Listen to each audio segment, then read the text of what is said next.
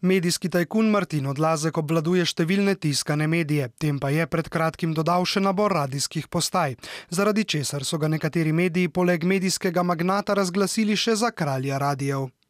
Na naše uredništvo smo dobili zanesljivo informacijo, da ne bi odlazek od Stojena Petriča še enega medijskega tajkuna dobil komunalno koncesijo. Od takrat naprej se o Petriču v odlaskovem reporterju ne piše več. Že kratek pregled reporterja nam potrdi, da je v tem tedniku Petrič zadnje leto povsem varen. Medtem, ko so se še, ja, še lanskega junija in julija pojavljali številni članki o Petriču, jih sedaj praktično v reporterju ni več.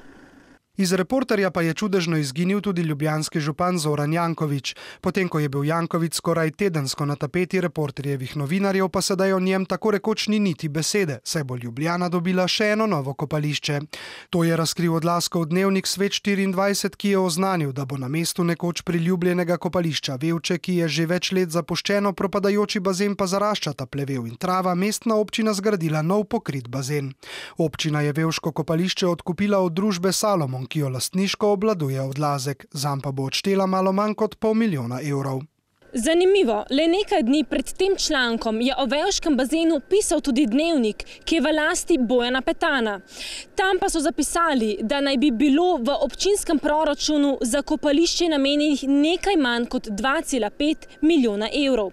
Občina naj bi imela sicer samo za nakup zemljišč na območju kopališča Velče zagotovljenih kar dobrih 463 tisoč evrov.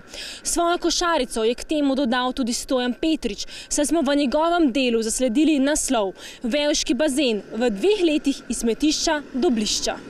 Kot vse kaže, je v slovenskem medijskem prostoru nastala klima, v kateri si trojček odlazek Petrič Petan družno krije hrbet. Seveda ob konkretnem finančnem zaledju levih politikov Jankoviča, Cerarja in Židana.